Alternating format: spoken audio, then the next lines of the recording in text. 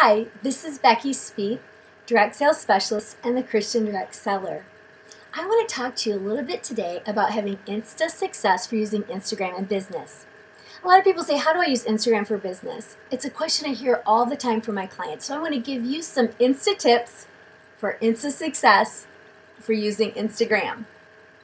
You're going to love this social media platform. It's one of my favorites. It's quick, it's fun. Now, let's make it profitable, right? Because that's what we're all about. First, if you don't have an Instagram account, don't stress.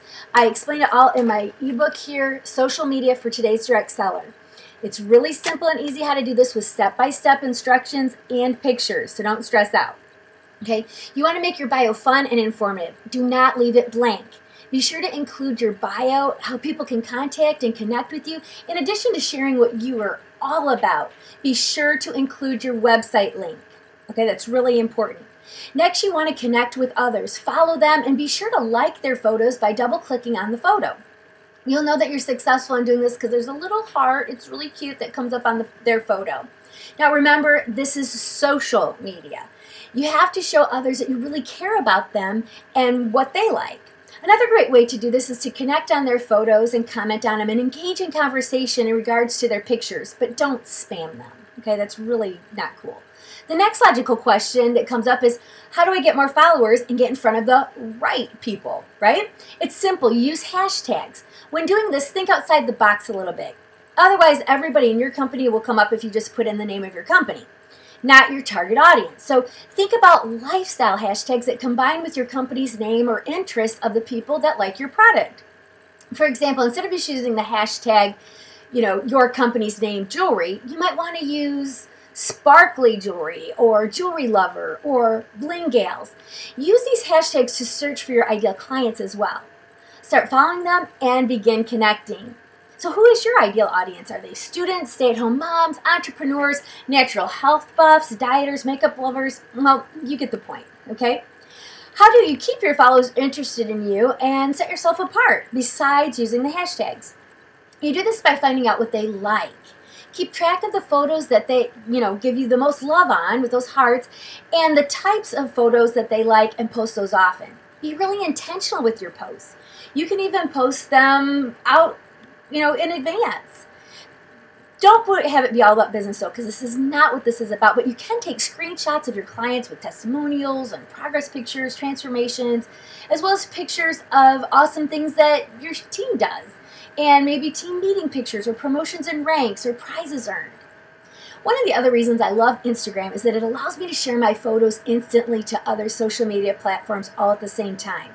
I can post to Instagram, Facebook, and Twitter all with one click. So it's super awesome. Okay. Now, for those more advanced Instagram users, you can also use other apps to pre- you know get your pictures prepped for Instagram with adding words and swag and emojis and all kinds of things. And this will really set you apart. Use these apps to watermark your photos with your website URL so people know how to find you. Tell your audience what to do. Don't just assume that they're going to take action on their own and just contact you outside of Instagram. So add text that might say, you know, tag a friend that loves jewelry or double tap this picture if you love makeup.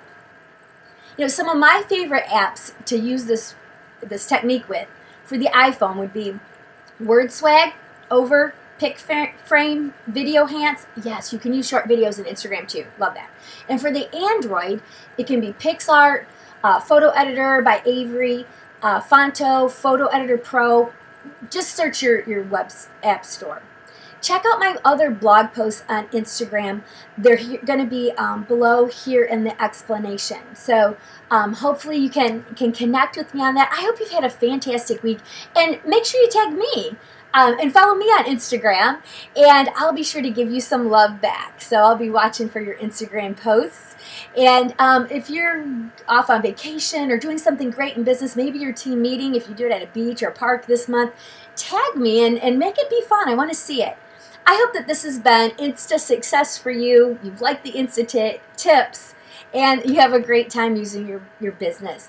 Um, don't forget, we do have this as a, one of the products on sale right now on special. It's the product of the week on the social media for today's direct seller because it's really, really awesome.